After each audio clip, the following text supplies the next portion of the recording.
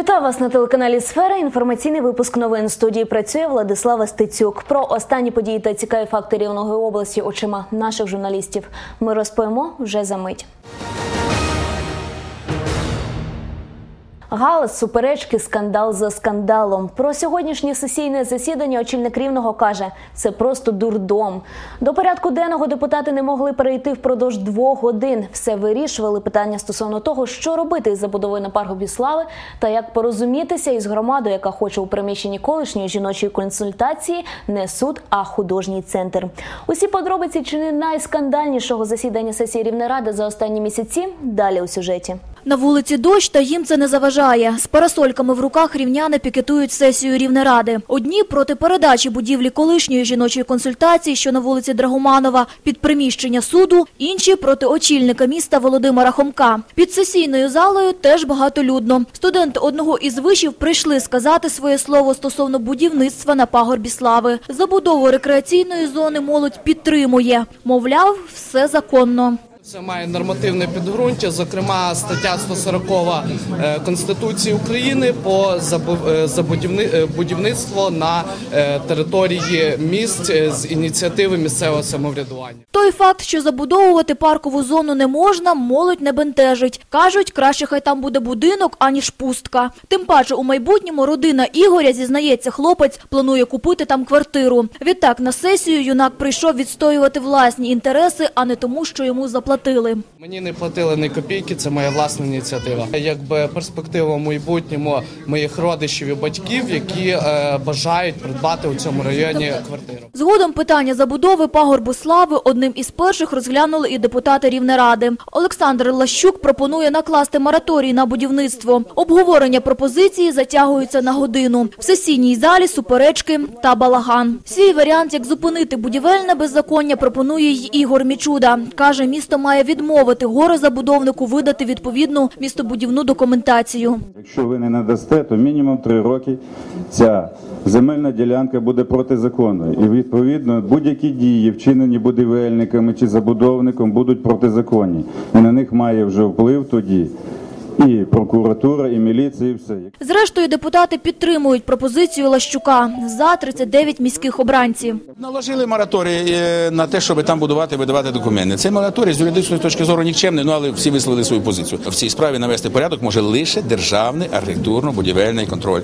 який є обласним. Єдина організація, яка відповідає за будівництво в нашій державі. Не менш скандальним стало і питання стосовно передачі будівлі колишньої жіночої консультації, що на вулиці Драгоманова під приміщення суду. Олександр Лещук пропонує колегам звернутися до обласної ради з проханням, аби остання прийняла цей будинок на свій баланс. Голосування за пропозицію Лещука депутати провалюють. Це неабияк обурює присутніх на сесії громадських активістів. Один із громадських активістів вирішує вічнавіч з'ясувати стосунки з очільником міста. Свою позицію він відстоює мало не з кулаками. Будь ласка, будь ласка, я пере... Будь ласка, відійдіть. На прохання не заважати проводити сесійне засідання чоловік не зважає. Відтак Хомко шукає допомоги у правоохоронців. Будь ласка, від... заберіть. Ну що ви не можете вивезти чоловіка? Візьміть ще чотирьох чоловік.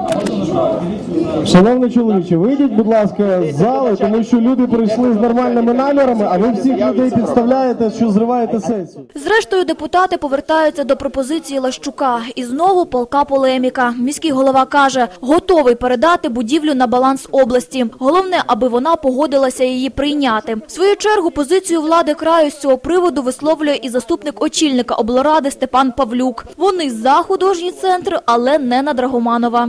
Ми шукали альтернативу даного приміщення, бо у нас таких коштів, щоб профінансувати дане приміщення в такій сумі, просто немає і не буде. У нас біля обласного краєзнавчого музею нашого є приміщення Толстого 20, 400 квадратних метрів, яке ми сьогодні готові виділити для цього картинної галереї. Проте громада наполягає на своєму. Володимир Хомко каже, якщо приміщення все ж таки відійде під художній центр, то він зробить все можливе, аби документи були укладені так, щоб ніяка приватна структура в музей не зайшла. Там же ж є люди з бабками, які хочуть зайти і по- по- поремонтувати на мільйонів 20-30. Ніхто не хоче. Будь ласка. Колеги, рухаємося далі.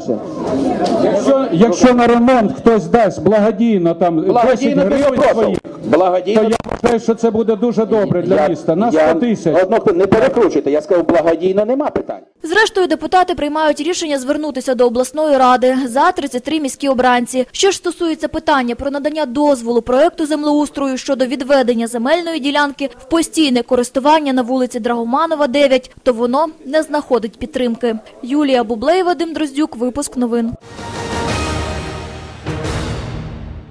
Нещодавно Миколу Щурука таки офіційно представили особовому складу правоохоронців краю. Зробив це перший заступник міністра МВС Володимир Євдокимов у будинку культури міста Сарни. Реакція ж громади, яка раніше виступала проти його кандидатури на крісло головного міліціонера, довго на себе чекати не змусила. Вже зранку під стінами обласного МВС зібрався чималий пікет. Чим все закінчилось, розкажуть наші журналісти. Обклали шинами, заставили машинами та чекали приходу на роботу вже офіційно представленого нового начальника МВС області Миколи Щерука. Проте останній, вочевидь, до управління не поспішав. Тому представники автомайдану, правого сектора та громадські активісти вирішили самотужки розшукати головного міліціонера. В телефонній розмові пан Щерук повідомив, що наразі перебуває у Костополі, де має звільнити начальника Костопільського райвідділу міліції. Всі чекають вас і всі просять, щоб ви сюди під'їхали. Всі громадські організації, які чекають просто вас для того, щоб ви під'їхали, бо ваш кабінет опечатаний, а ви на робочому місці. Я закінчу справи тут, я під'їду. Скажіть, будь ласка, кон- конкретну годину, на яку годину ви під'їдете? Я не знаю, бо зараз їду в адміністрацію, там то треба буде не тільки адміністрацію, бо там і зібралися і депутати, і мері. Я зрозумів. Тому ви дивіться, громада. Я зрозумів. Вам громада, вам громада до одного місця. Тоді ми блокуємо просто київську трасу, щоб ви розуміли. Що- Шановний, значить, я вам об'являю як е, е, Майдан, е, автомайдан України, да? Всеукраїнський автомайдан України, об'являємо, ми перекриваємо трасу, раз, ми перекри- перекриваємо в Житомирі, зараз трасу перекриваємо, в Києві перекриваємо, во Львові перекриваємо. Всього лиш із-за одного вас. Як розповів керівник правих Роман Коваль, він був присутній на представленні Щирука у Сарнах і доніс до заступника Авакова інформацію про те, що громада краю проти такого призначення. У мене складається враження, що сьогодні спеціально переламали, переламують через коліна громадськість, переламують через коліна працівників УМВС, які не хочуть теж працювати під його керівництвом, е, для того, щоб протягнути цю людину на цю посаду. Я не виключаю, що за я не вик- не виключаю, що за цим стоять е, певні групи і народ, в тім числі і народні депутати, для того, щоб все-таки займатися е, цим бізнесом, який сьогодні, про який сьогодні дуже досить багато говорять на полісі. Це бурштин чергу. Зрештою, не дочекавшись приїзду Миколи Щирука, активісти відправились перекривати міжнародну трасу Київ-Чоп. Пообіцяли зупинити там рух, допоки очільника правоохоронців не звільнять, або він добровільно не покине посаду. Владислава Стецюк, Андрій Криш. Випуск новин. В знак протесту перекрили рух на міжнародній трасі Київ-Чоп і лише через декілька годин вирішили її розблокувати.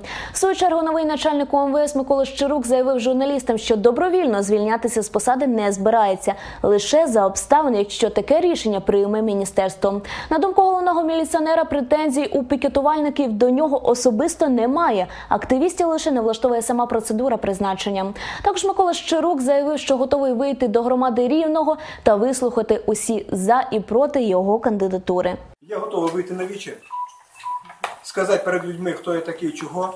Якщо люди скажуть е, дійсно на вічі, що щось не так, що я по тих чи інших якихось е, питаннях е, чи якихось проблемах їм не підходжу, я тоді готовий. Рівненська обласна прокуратура з'ясовує законність встановленої вартості проїзду в Рівненському та Березнінському районах. У зв'язку з надходженням до органів прокуратури області скарг від мешканців цих районів щодо безпідставного завищення перевізниками вартості проїзду у громадському транспорті. Прокуратурою надано доручення сектору у Рівненській обласній державній інспекції України з контролю за цінами, управлінню інфраструктури та промисловості, департаменту економічного розвитку і торгівлі ОДА Рівненському обласному територіальному відділенню антимонопольного комітету України провести перевірку із сказаних питань та про її результати повідомити громадян. Про це повідомили з прес-служби прокуратури області. Прийди на вибори, захисти державу. Під таким гаслом нині в Україні розгорнулася інформаційна кампанія. Її мета не лише апелювати до свідомості українців, але й проінформувати їх щодо самої процедури голосування та права виборця. Яким чином активісти будуть це робити на Рівненщині? Та чи чесно нині у нас ведеться передвиборча боротьба? Дивіться далі. На Рівненщині вже розпочалась інформаційна кампанія Прийди на вибори, захисти державу. Зокрема, у Володимирецькому, Здолбунівському та Гащанівському районах. За словами організаторів, вже незабаром кампанія охопить усі райцентри області та деякі села. В її рамках активісти розповсюджують серед населення українську символіку та інформаційні буклети, що стосуються порядку процедури голосування. Міститься інформація, що потрібно зробити до виборів, зокрема, уточнити себе в списках виборців України і для виборців, які планують голосувати вдома, прийти е, чи якимось чином передати на дільничу комісію заяву про те, що е, мають люди намір проголосувати вдома.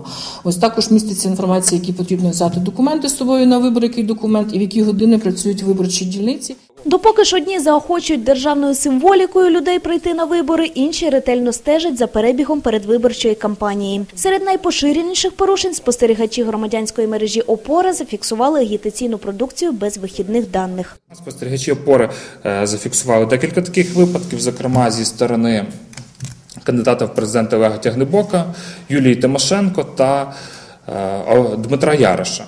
Тобто, якщо говорити про Тимошенко, це були агітаційні листівки, тягнеблок це були банери, які розміщувалися е, на вулиці Соборній.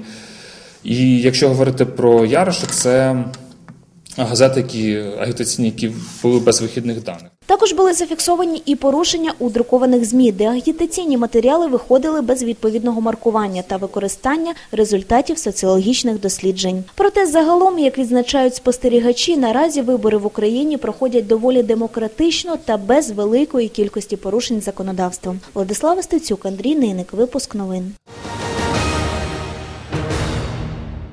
На цьому в мене все. Більше новин шукайте на нашому сайті. Залишайтеся з нами та будьте в курсі останніх подій. Я ж прощаюсь з вами лише до завтра. Побачимось на цьому ж каналі в цей же час. На все добре.